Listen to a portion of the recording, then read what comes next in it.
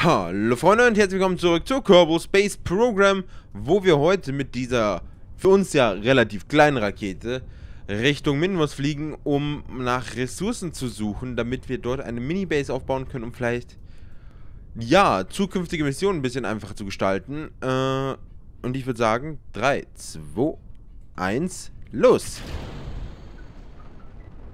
Oh, jetzt bimmel ich auf einmal.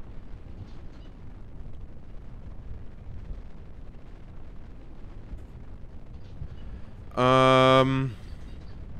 Ja, kurz verwirrt. Ähm.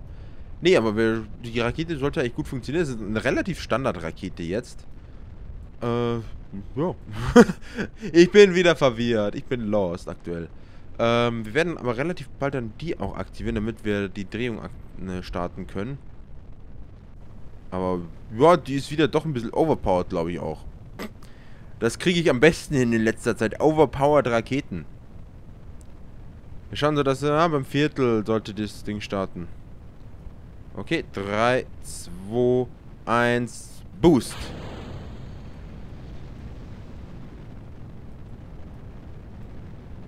Wir gehen langsam jetzt schon mal in den in die Drehung. Abkoppeln der Booster. Nein, nein, nein, nein, nein, nein, nein, nein. Oh, fuck.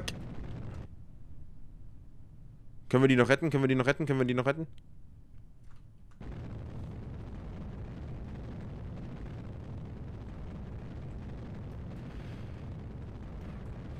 Hui, das war Salto in der Luft, würde ich mal sagen. Hoppala. So war das eigentlich nicht geplant, aber hey, wir haben es gehalten. Jetzt habe ich kurz einen Herzinfarkt bekommen. Kurz mal in die Hose geschissen. Oh no. Fuck, wir haben keine Zündungen mehr hier. Ich habe die Zündungen nicht beachtet. Ich habe die Zündungen nicht beachtet. Wir müssen flacher. Wir müssen jetzt echt flach. Oder dass uns die Rakete wieder abhaut. Ich weiß, so ist es eigentlich kacke zu fliegen, aber wir müssen einfach. Wir müssen so flach wie möglich, jetzt schon, weil wir ansonsten nicht eine gute Flugbahn kriegen. Und das wäre jetzt sehr unideal. Ich habe das Gefühl auch, dass meine Raketen wieder mehr, mehr Standard geworden sind in den letzten paar Folgen. Wir mehr so diese Standardaufbauten, zwei Booster, Middle-Stage und Upper-Stage haben. Wir kommen wieder zu den alten Werten zurück, aber die funktionieren halt auch so gut. Ähm, allein schon, wenn ich überlege, dass da oben so viel noch äh, MS drin sind.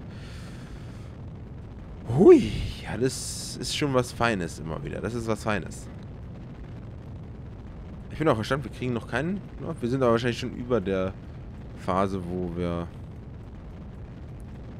bestimmte Effekte kriegen, die bestimmt cool ausgesehen hätten. Na, wir warten noch, bis wir hoch genug sind. Erhöhen tut er sich noch, oder? Ja, tut er noch. Ein bisschen erhöhen sollte er sich auf jeden Fall noch.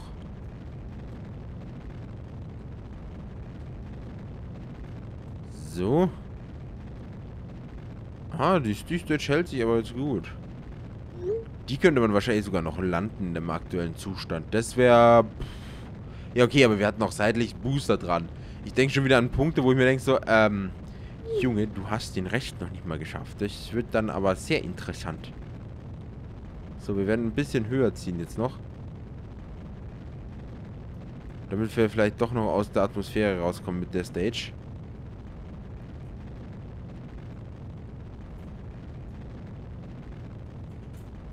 Vielleicht war ich doch ein bisschen zu flach.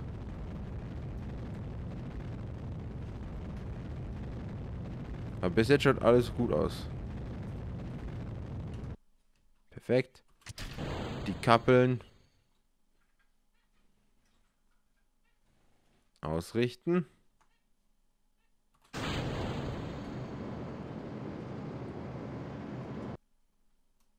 Perfekt. Dann gehen wir hier hoch, boosten raus und dann tun wir uns eine schöne Position für Minmus raussuchen, würde ich sagen. Relativ easy. Und da ist unser Mini-Satellit. da, da, da, da, da. Wir behalten aber jetzt bitte auch direkt mal die, den, Treib, den elektrischen Treibstoff im Überblick, falls da irgendein Fehler passiert. Das hätte ich nur sehr, sehr ungerne. Da was da was passiert. Oh Gott. Ah, jetzt sind wir im Weltraum.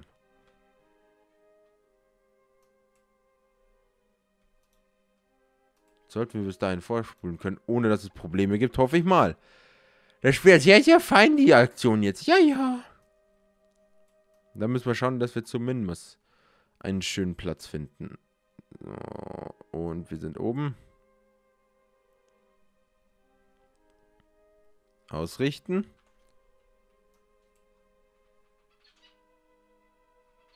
Wenigstens hat die, also wie viel, wie viel, 77, ja okay, mit denen können wir viel adjustieren, das ist vorteilhaft. Das ist auf jeden Fall gut. Und beide Stages haben Ohren... Jo, das, das reicht, das reicht auf jeden Fall. So, jetzt schauen wir mal, wie hoch wir den, die Stage auch bitte. Ja, die ziehen wir einfach auch so weit hoch. Bei 200.000 haben wir auf jeden Fall ein gutes Spiel. Zack, perfekt. Und dann äh, brauchen wir Minmus als Ziel setzen. Ich versuche mal von hier. Ich versuche mal ein bisschen. Schau mal, wir müssen irgendwie schauen, dass wir bei Minmus.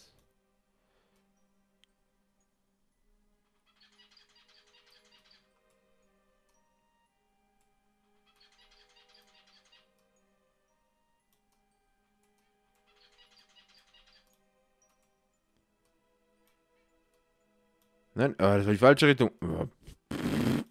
Oh fuck, das war zweit.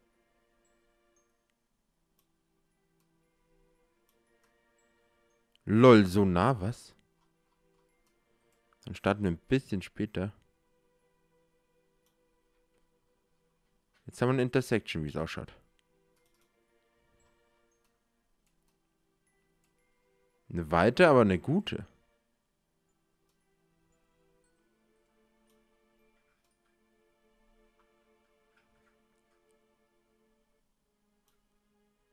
Kann ich hier... Oh, oh, oh, nein, das war zweit.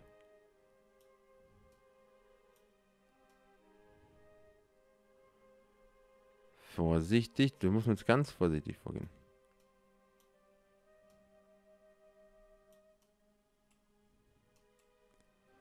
Ganz vorsichtig.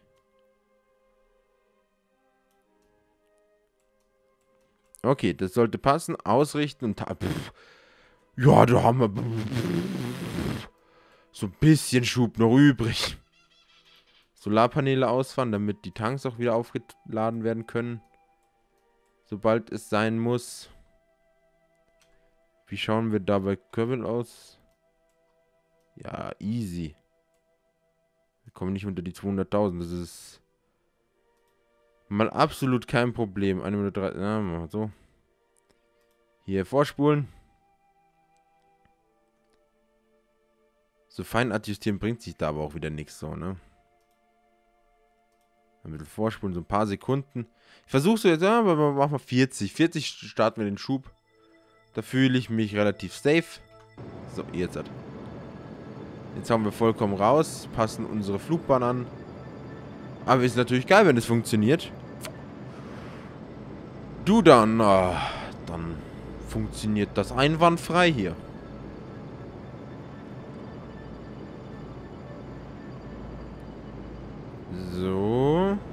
Dann, oh, Alter, das schießt. Das ist im Vergleich zu einer nuklearen Engine so angenehm zu sehen, wie die Zahlen runterrattern bei 1000. Weil bei der nuklearen Engine war es so 1, 2, 3. Und hier so 1, 2, 3, 4, 5, 6, 7, 8. Oh, das ist schön. Das sind Antriebe, die ich mag.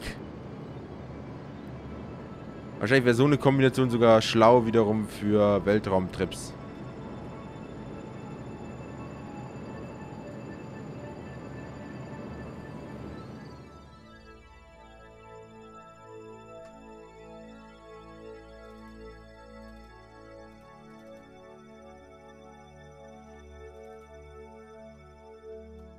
Schauen wir, wie...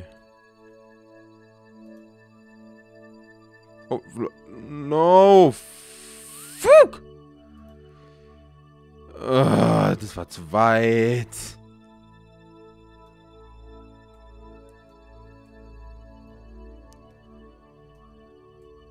Natürlich war das zu weit. Natürlich.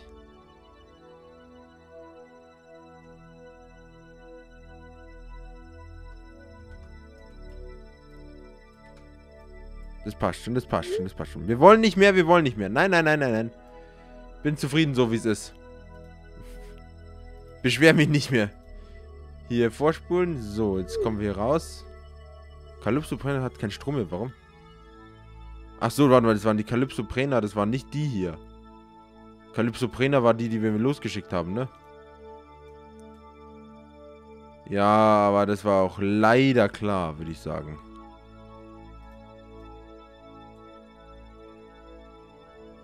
So, da ist der Minmus. Yes. Und das alles in einer Folge. Nice. Das ist doch wieder Supreme. Wo ist er denn? Minmus. Minmus. Hey, mein alter Freund. Lange nicht mehr gesehen. Schon lange nicht mehr hier gewesen. Ah, schön wieder da zu sein auch. Also, ich mag Minmus. ist ein...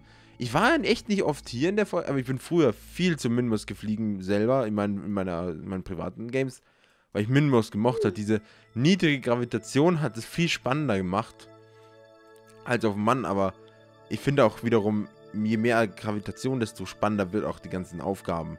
Deswegen finde ich ja Duna immer so faszinierend und die ganzen anderen Planeten. Obwohl Duna für mich so einfach so, dadurch, dass es den Mars repräsentiert eigentlich, so das Spannendste, was es eigentlich gibt. Ähm aber ja. So, wir tun jetzt hier die Flugbahn anpassen? Ich glaube eh, das ist relativ. Weißt du was, wir machen es jetzt relativ simpel. Wir schicken die direkt auf eine, auf eine Fallstage. So. Dann drehen wir uns einmal bitte kurz.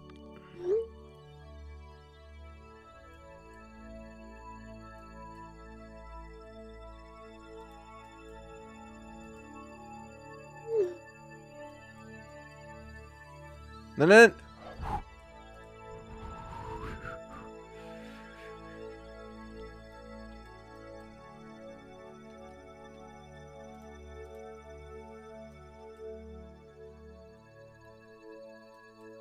Nicht schon wieder. Nein, nein, nein, nein.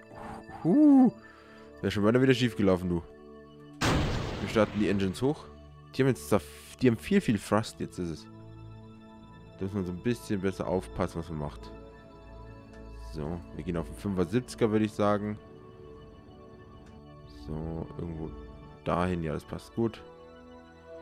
Vorspulen.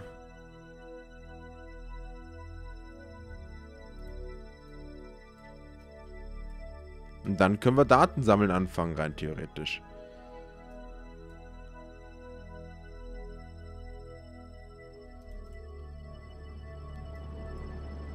Unterbrennen und bisschen, noch ein bisschen, noch ein bisschen, noch ein bisschen, noch ein bisschen. Jetzt fangen sie an zu wandern und Schluss. Perfekt. So wollen wir das. Und jetzt ist genau der... Boah, da schaut euch an. Da ist er wieder. Minmus, wir sehen uns wieder. Die Punkte haben wir nicht. Die haben wir, wir starten es trotzdem. Die haben wir eigentlich auch. Äh, ihr seid alle schon da. Antenne ausfahren. Hallo, Antenne ausfahren, habe ich gesagt. Du bist wie ein Relay-System jetzt. Und hier Scan vor Ressourcen starten. Müsste ja von der Höhe her passen. Scan Ressourcen hier, Erzoberfläche 2,9%, Metal Ore 9,2%. Ideal sind 70, aber wir sehen, es wird ein bisschen dauern. Wir werden auch nochmal die Flugbahn jetzt anpassen. Also hier Add-Manöver. Okay, gut zu wissen. Dann weiß ich, in welche Richtung ich muss. Ich muss in die Richtung hier hin. Und spulen hier schon mal vor. Aber der muss jetzt sozusagen die nächste Zeit eh sich jetzt darum kümmern, dass er die Oberfläche scannt und uns gute Ressourcendaten liefert. Und bis das dann alles geschehen ist, oder wenn jetzt alles geschehen ist, dann habe ich auch hoffentlich die Crew auf der Mann Station schon ausgetauscht. Und wir können dann dadurch unsere Daten dementsprechend weiterverarbeiten. Zack. Ja, das ist immer noch ein super Orbit. Das Ding ist jetzt einsatz, einsatzbereit für die nächsten paar Jahrzehnte gefühlt. Und wird sich hier drum kreisen. Und schaut euch mal diesen Minmus an. Oh, ich liebe dieses. Schaut euch dieses Ding an. Oh, schaut geil aus. Und da irgendwo werden wir in der Zukunft landen und eine Mann-Base bauen, wenn die dementsprechenden Ressourcen da sind. Also, ich würde sagen, das war's für diese Folge. Ich hoffe, es hat gefallen. Wenn ja, lasst unbedingt einen Daumen nach oben da. Abonniert, wenn ihr noch nicht habt. Und wir sehen uns in der nächsten Folge wieder. Also, bis dann. Ciao.